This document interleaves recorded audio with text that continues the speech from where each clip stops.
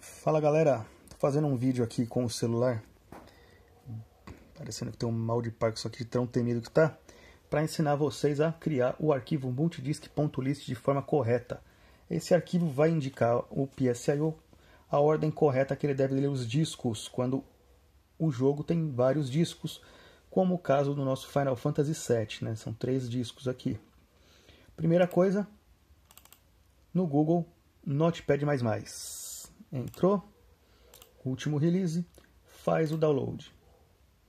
Feito o download, abre Notepad++, vai em configuração, preferências, novo documento, vai novo documento, marca Windows, marca ANSI. Se não tiver dessa forma, vai dar bosta. E você não vai trocar de jogo na hora que o jogo pedir, não vai trocar de disco na hora que o jogo pedir. Beleza. Na pasta. Para ficar correto, a grafia está escrita da forma exatamente igual ao arquivo. Renomear. Copia tudo.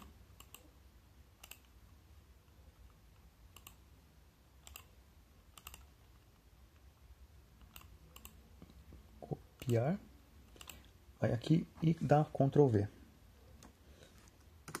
dá outro Ctrl V e o terceiro Ctrl V. E a gente só muda aqui para disco 2 e disco 3. Beleza? Vamos aqui, salvar.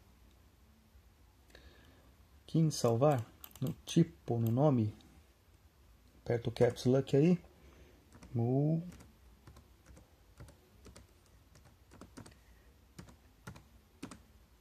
multidisk.lst escrito dessa forma. E agora a gente vai botar na pasta do jogo aí. Beleza, na pasta do jogo a gente salva o arquivo.